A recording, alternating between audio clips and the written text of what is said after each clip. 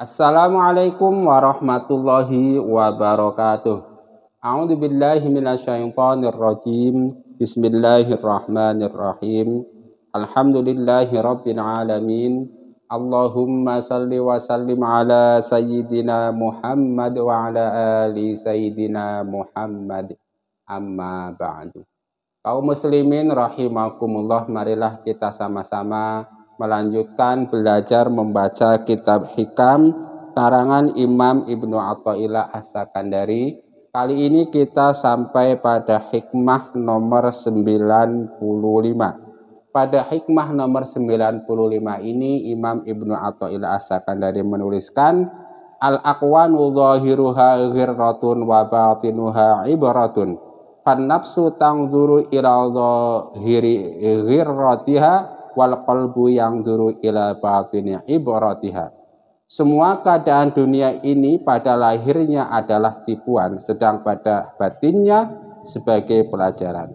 Maka nafsu melihat kepada lahir tipuannya, sedangkan hati melihat kepada pelajaran yang terkandung di dalamnya. Al-aqwanu zahiruha ghirratun wa batinuha ibratun. Gemerlapnya dunia dan seisinya ini. Lahirnya itu merupakan sesuatu yang membujuk kita. Sesuatu yang membuat pandangan kita, nafsu kita merasa kepingin, merasa indah dan lain-lain. Tetapi di balik keindahan dunia itu ada hikmah, ada ibrah yang bisa kita ambil pelajaran. Orang-orang yang memperturutkan hawa nafsunya maka dia akan melihat dunia dengan nafsunya itu. Melihat dunia indah, kepingin memiliki keindahannya. Melihat jabatan megah, pengen mendapatkan jabatan. Dia tidak pernah berpikir bahwa di balik dunia yang kita lihat itu ada ibrah. Ibrah bahwa semua yang kita lihat, semua yang kita pakai, semua yang kita miliki haruslah membuat kita sampai kepada Allah Subhanahu wa taala.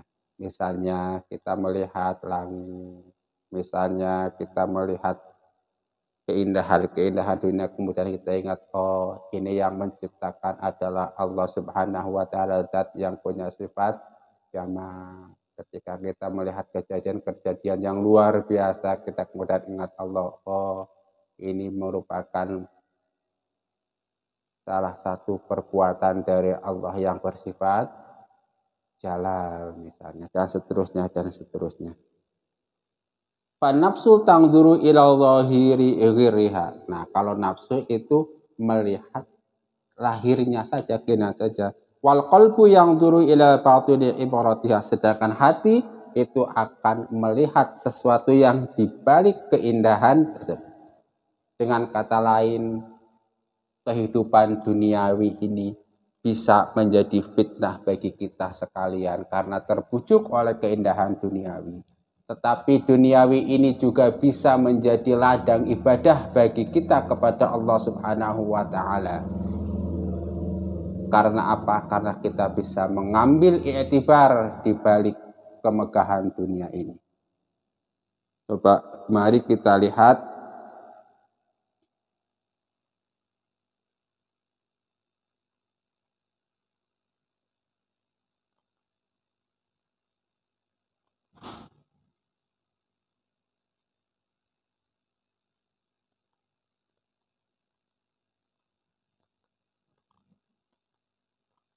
Coba kita lihat yang sarahnya Imam Sarqawi saja. Biasanya lebih ringkas ya. Al-aqwanu zahiruha gharratun wa batinuha ibratun. Fan nafsu tangzuru ila zahiri ghirratiha wal qalbu yang duru ila batini ibratiha.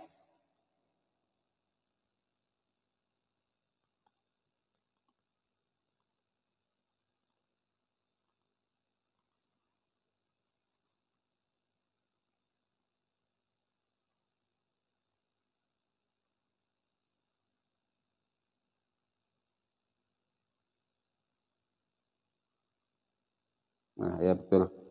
Sudah tepat ya, jadi istilahnya begini. Jadi begini, dunia seisinya itu satu hal, satu kondisi bisa dipandang dari dua sudut pandang. Orang-orang yang memperturutkan hawa nafsu, dia akan memandang dengan nafsunya pada lahirnya atau pada kondisi rohirnya dunia itu. Tetapi orang-orang yang punya mata hati, dia akan mengambil ibarat dari kondisi dunia tersebut. Mudah-mudahan kita termasuk orang-orang yang bisa mengambil iktibar dari dunia ini, bisa mem memanfaatkan dunia sebagai ladang ibadah dan terhindar dari godaan fitnah dunia. Allahumma amin. Rabbana taqabbal minna innaka antas samiul alim wa tub alaina innaka antat tawwabur rahim.